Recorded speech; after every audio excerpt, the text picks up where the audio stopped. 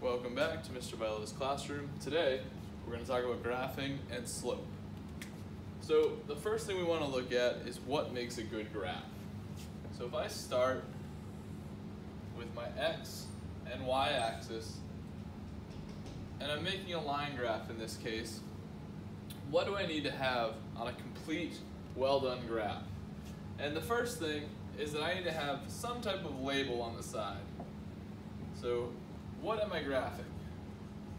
And with that label, I always need to have units.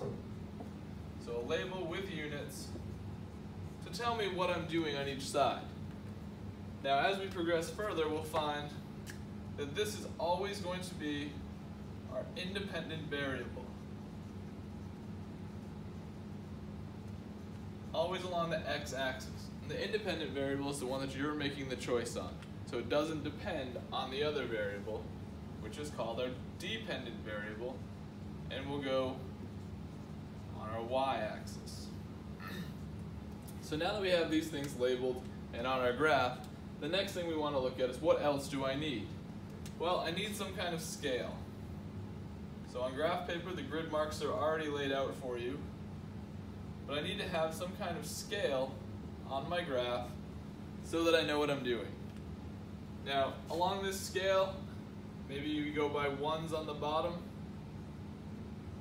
and you can go by any increments you want, whatever works best for the data that you're graphing, but these have to be equal increments between each marking. So up the side, I could go, maybe I want to go by threes. And so again, I can go by threes up the side, because they're all in equal increments. Get up there. So I have my graph labeled with the correct units. I know which variables on uh, which axis. I then want to make a title for my graph. And so the title is usually going to go dependent variable versus independent variable, depending on what those are. So a good title could be something where it can be very simple.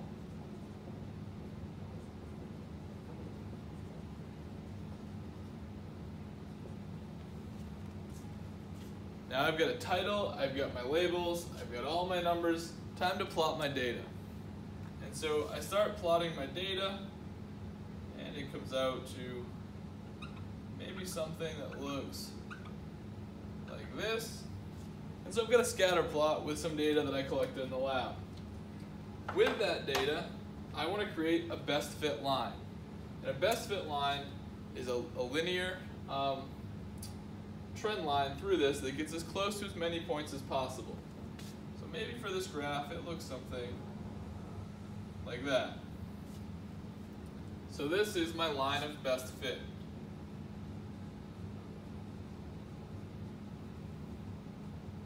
I'm going to use the line of best fit to find the slope of my graph. Now the other thing you want to make sure you always have in a graph, or that you always do with a graph, is you want to use the entire paper. Make it nice and big, fill the, fill the space you have so that we can read it easier and analyze it a little more simply. So this is a pretty good looking graph. I've got a title, I've got everything labeled, I've got my data with my best fit line, and I've used the entire piece of paper or the entire board in this case. So now when I start to analyze that data, I want to look for the slope. To find the slope, I'm going to use my best fit line. Finding an average. So on the best fit line, you'll see that I have one point that fell on the line, but not two. And when we find slope, we often want to use two lines or two points. So slope can be thought of in two ways. Either the way you all learned in math class, y2 minus y1 over x2 minus x1, or simply a rise over a run. We're going to do it both ways so you can see the answer comes out the same. So in this case, I would use this as one of my points. If I follow it over and down, I can see that this point has an x value of 9 and a y value of 27. So I need to find one more point. as we said, there's not another point on the line. So I'm just going to pick another point that would fall on the line. Even though it's not part of my original data set, it's on my line of best fit. So in this case, I've chosen the point 4, 12. So I have two points that fall on the line. I can find my slope. So let's do it the first way. y2 minus y1 over x2 minus x1. So if I label my points, I have x1 and y1, and I have x2 and y2. So 27 minus 12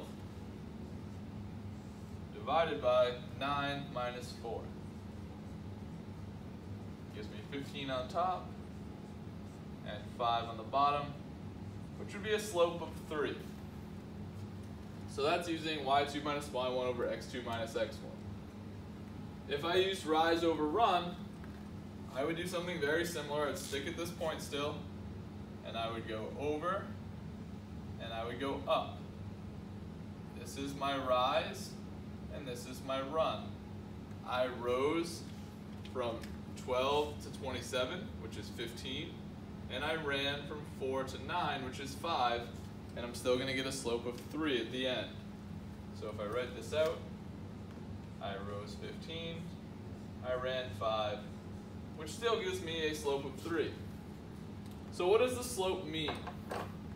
Well, we have our labels are pretty generic, but what I'd look for is rise over run, so it's dependent variable over the independent variable, and those would end up being my units. So for the lab we did the other day, or the uh, graphing activity where we had distance jumped and height, it would be centimeter per centimeter, which would cancel out. Oftentimes we're going to have things like meters per second, or uh, newtons per kilogram, or even meter per second per second. But this is a very simple overview of how to graph appropriately and then find your slope from that graph. Uh, later, we'll start doing equations of a line, and for us, that will always take slope-intercept form, which of course is y equals mx plus b, where m is the slope that we have already found. Thank you for watching. Please come in with any questions you might have.